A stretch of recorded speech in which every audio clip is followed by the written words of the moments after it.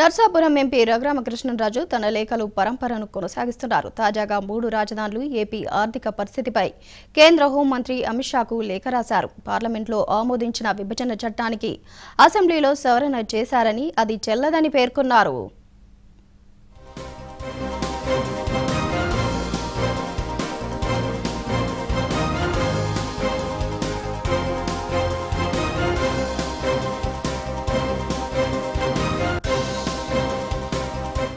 విభజన చట్టంలో లేని విధంగా మూడు రాజధానుల నిర్ణయం తీసుకున్నారని తెలిపారు. పార్లమెంట్లో చట్టాన్ని సవరించినప్పుడే మూడు రాజధానులకు చట్టబద్ధత వస్తుందని స్పష్టం చేశారు. ఈ విషయాన్ని గమనించే ఏపీఐ కోర్టు స్టే ఇచ్చిందని భావిస్తున్నానని అమిత్ షాకు రాసిన లేఖలో రఘురామ వివరించారు.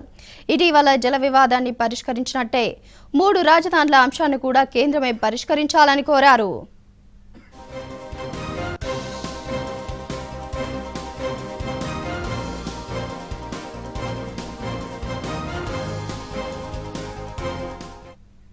ఏపీ ఆర్థిక పరిస్థితి గురించి వివరిస్తూ రాష్ట్రం ఆర్థికంగా దివాలా తీసే పరిస్థితి వచ్చిందని తెలిపారు. పదిహేనవ తేదీ వచ్చిన ఉద్యోగులకు జీతాలు ఇవ్వలేకపోతున్నారని వెల్లడించారు. గతంలో ఎప్పుడూ లేనంత ఆర్థిక దుస్థితి ఏపీలో ఉందని రఘురామ ఆందోళన వ్యక్తం చేశారు.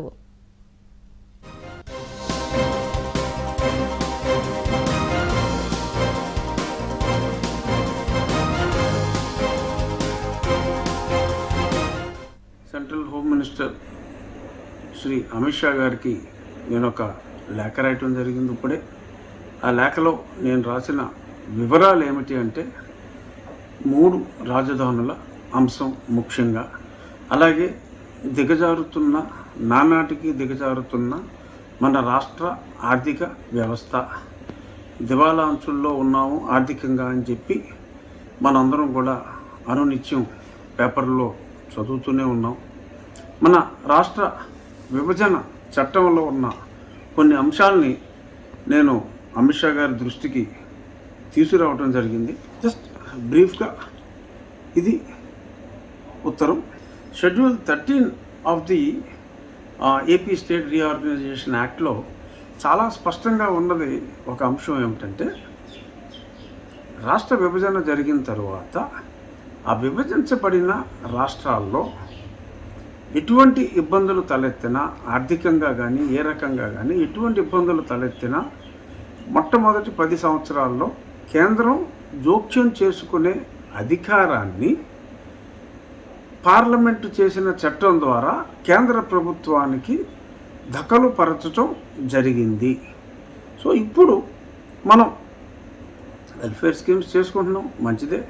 ఎవరు కాదనలేరు. కానీ ఆదాయం సంపాదించుకోవాలి. ఖర్చు పెట్టాలి. వెల్ఫేర్ లేనిదే వెల్ఫేర్ అన్నది పట్టించుకోకపోతే ప్రభుత్వానికి అర్థమే లేదు. కానీ అభివృద్ధి లేకుండా వెల్ఫేర్ చేస్తే వెనుజులా దిశగా మనం ప్రయాణం చేస్తాం.